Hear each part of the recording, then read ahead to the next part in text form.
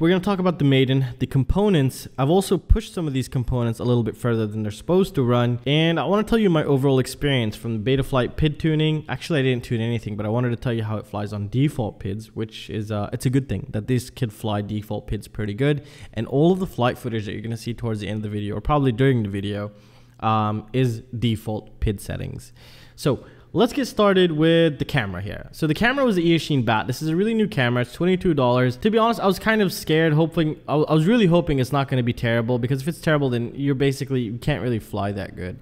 And I was actually quite surprised. This is a CCD camera, but the overall image quality in low light conditions was doing really great and uh, the wide dynamic range was absolutely spectacular. So for camera, it was a really great camera. Motors, these I didn't know what to expect to be honest. And uh, the reason why I actually really put them on is because they're the cheapest FPV motors right now. And I kind of forgot how they performed, even though I have them on another quadcopter. But I really wanted to see after all these other quads that I've been flying, how do these still stack up in 2019? Now, for a pretty heavy freestyle build, they handled really nicely. They're really smooth, no vibrations, and I even ran a 5S on them, and they didn't even come down hot.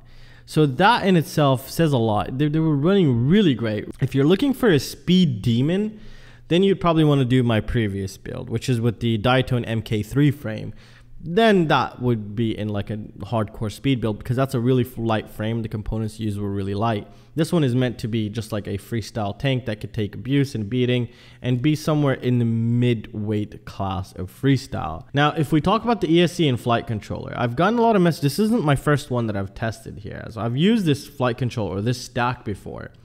And um, and again, it does not disappoint. Some people were saying the 9 volt regulator is really dirty, and then some people were talking. I'm getting beautiful video footage. However, I also do have a low ESR capacitor connected, but I'm getting perfect video feed.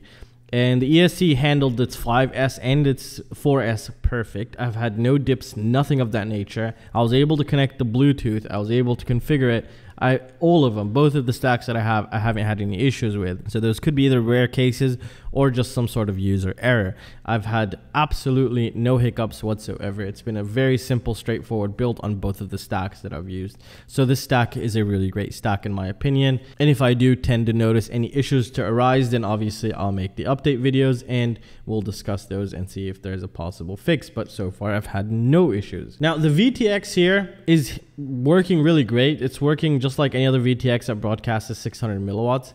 Now, a lot of people don't like it because it's cheap. Now, the reason why it got so cheap is because nobody bought it because of its form factor. So this is actually a great deal in my opinion, and it's something really good. So you better pick some up if you're looking for a cheap VTX that is stackable, that has MMCX, smart audio. It's not going to broadcast at 1000 milliwatts as its rating, but if it broadcasts at least 600, it'll broadcast at least 5 to 600.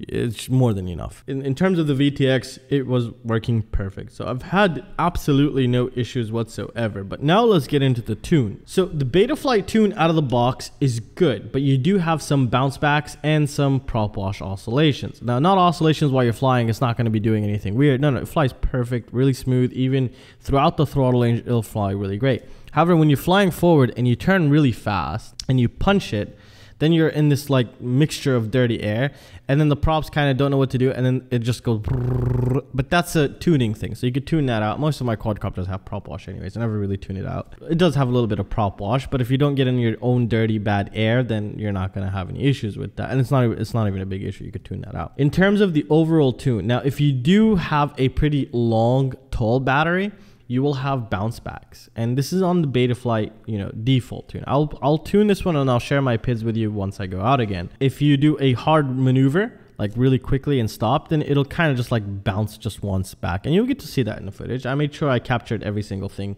uh, that the quadcopter did. So you can see its performance, its stopping power, uh, some of the bounce backs, the prop oscillation, everything you'll get to see in the video. But overall, if you you know, if you don't understand that stuff, you're still gonna fly and have a great time. And then eventually, what's really nice, it's just those little tiny things that will introduce you into that next gate of tuning if you needed to.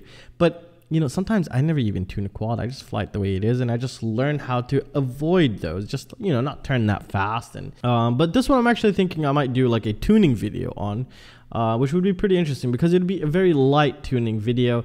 Um, it doesn't have those really nasty problems and there's no oscillations, no hot motors. I think this is one of the best builds I've done in terms of PID tuning. I mean, in terms of just, you know, default working out of the box really nicely. And uh, I'd highly recommend for anyone. Don't forget the center of gravity here is also pretty great. Um, I didn't try to fly it without the GoPro. It'd probably even fly better, but I had to obviously record for you guys.